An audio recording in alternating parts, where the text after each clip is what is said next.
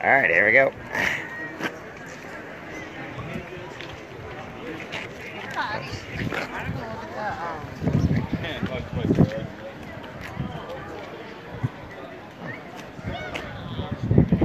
Look at that purple one, Grace.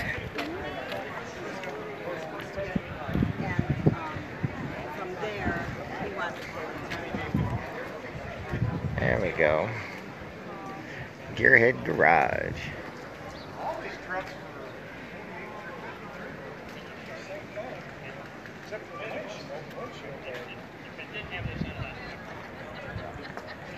There's more up in there, but that's also mixed with regular cars. So we'll come back this way, Grace. Thanks, Marty.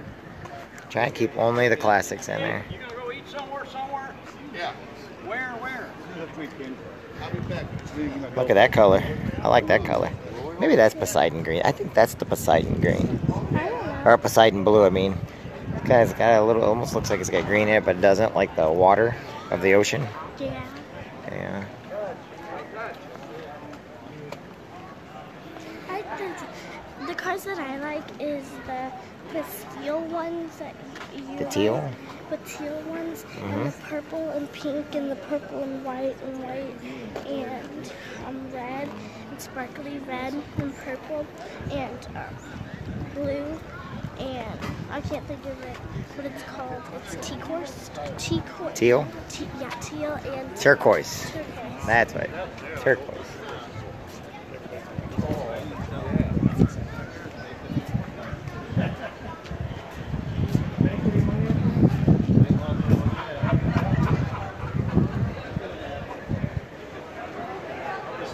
Yeah.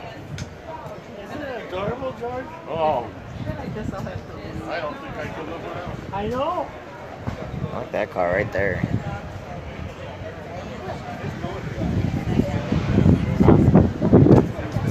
Yep.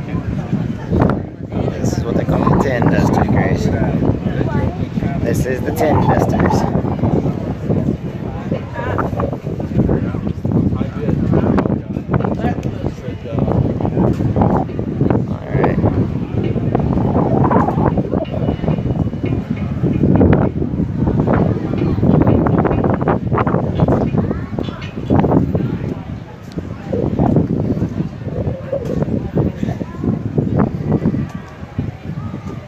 Root beer?